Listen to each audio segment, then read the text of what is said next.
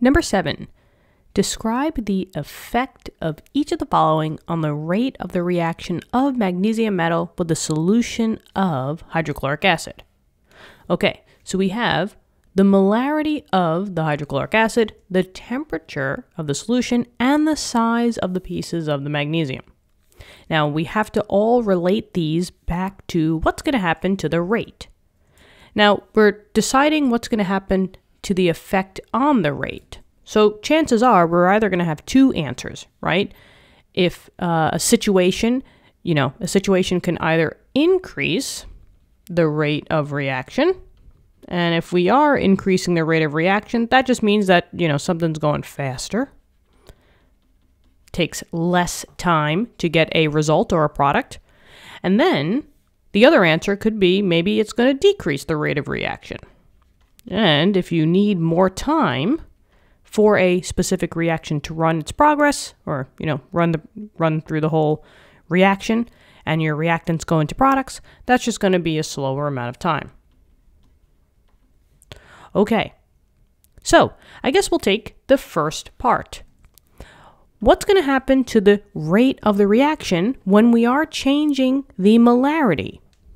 So, well, I guess here comes number one. The first thing that we have to remember, and this is all kind of like memorizable points, right? Theory concepts, is what's going to happen with molarity changes.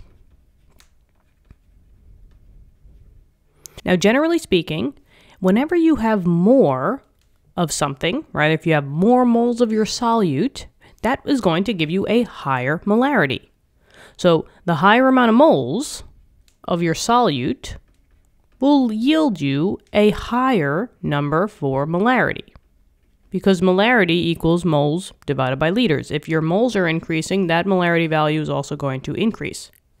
And if you have more of something, more chance that it's going to react and give you a product, right? Now, the first thing they said was what's going to happen to the rate if we're changing the molarity of the hydrochloric acid? So, if we know that we have high rates, right, that always goes with high molarities. So, if you increase your molarity, you are going to increase the rate of reaction. And then on the flip side, if you decrease a molarity value, you will lower your rate of reaction. So this is a very, very key concept to memorize. That anytime that your molarity is going to increase, that rate is going to increase as well. The reaction is going to produce at a faster rate, less time, because you just have more moles in your solution. The second key important uh, idea here that affects the rate is the temperature right? So we got temp changes, temperature changes. What's going to happen to the rate of a reaction if my temperature increases or decreases? Seems like we're going with the increased trend here. So I guess we will talk about increase in temperature. Now, if you're increasing temperature, right, something's getting hotter. And a good uh, example about this is why we have refrigerators, right? We have refrigerators to keep our food better preserved for times when we don't eat it, right? We have a lot of food in our refrigerators because we, you know, can't possibly eat all that in one sitting. So we buy some at the supermarket and we save, uh, you know, ingredients over time, over the week. But what happens, for example, if you leave you know, uh, a piece of meat out on the counter and not in the refrigerator. Yeah, it's going to get moldy, right? And it's going to get basically, you know, you're not going to be able to eat it because the reaction of, we could say, for lack of a better term, turning it from edible to inedible, right? If something's, you know, bacteria is starting to grow, that's a type of reaction. Um, it's increasing. So that's why we have to throw it in the refrigerator to lower the temperature. We don't want those reactions happening. So that's why we just have to keep it in a cooler environment.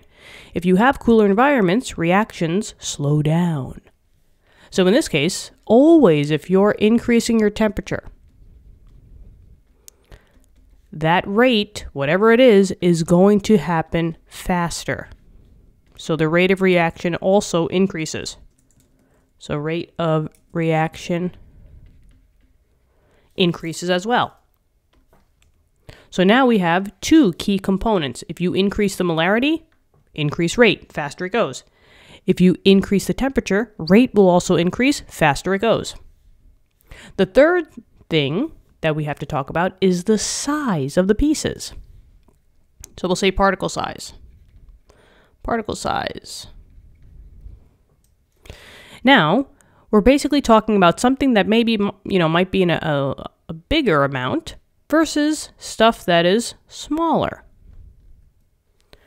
Now, in this case, we're specifically talking about the magnesium. Well, you either can have a larger particle size or a smaller particle size. So, what's the general idea here?